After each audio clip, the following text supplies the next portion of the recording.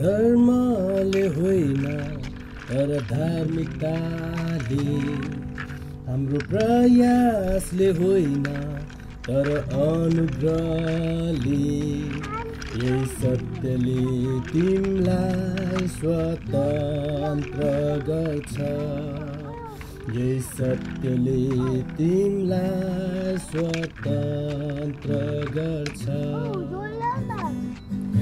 हामी विश्वासमा बढौँ देखिने कुराको आधारमा होइन पाइँदैन उदार कर्मले विश्वास सहितको अनुग्रह नै काफी हो यो त परमेश्वरको वरदान हो यो त परमेश्वरको हो